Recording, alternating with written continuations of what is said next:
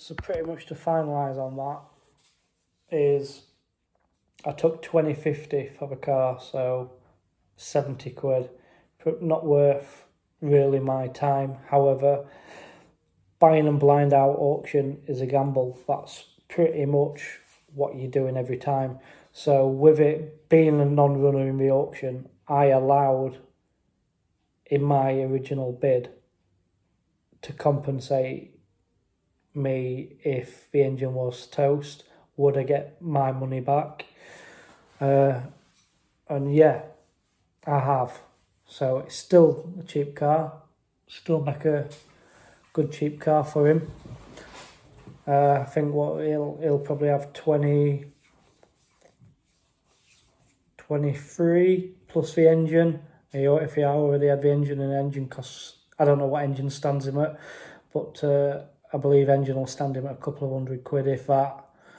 If if anything, it might have been something he took out of a car at work. I, I, I don't know, but anyway, I wasn't going to ask. It's not my place to ask. But say if the engine cost him nothing, he'll have twenty three hundred quid in the Zetec S.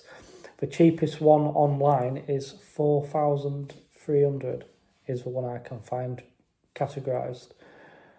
So makes a cheap car for him.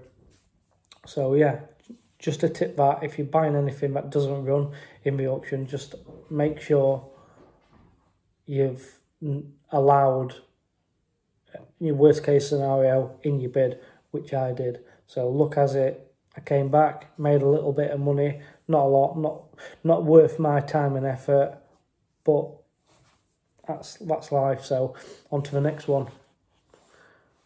Cheers for uh, coming back. Like and subscribe, and hopefully we're going to jump back onto the Blue Focus. So when I bought the car, that's what I gave 1190 all in. 220 quid for the bumper. Rad pack and lights was 300. Arch liners 20, airbox 20, top boost pipe 20, sump and sealer 50, flexi tenor, bonnet 130, and the fuel for delivering it, because I nipped nipped it down to his house, 20 quid. So all in all, 1980 is pretty much what I had in my car. Right guys, Fiesta's gone. I didn't actually have to put it in the auction. I thought I'll try it on the Fiesta parts pages and on Facebook Marketplace. So with guy came, obviously took this social distancing in, so he came, had a look, looked at the car. He works at Ford. Ironically, he had an engine already.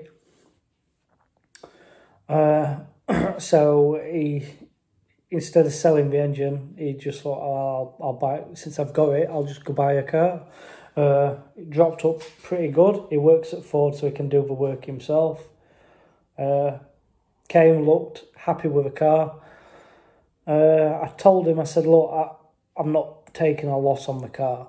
Whatever. I worked out basically what I had in the car and then stuck an extra 50 quid on top and I was happy about so he wanted all the parts with it which is understandable uh, so yeah pretty much I'm going to show you now what I had in the car and uh, how much it went for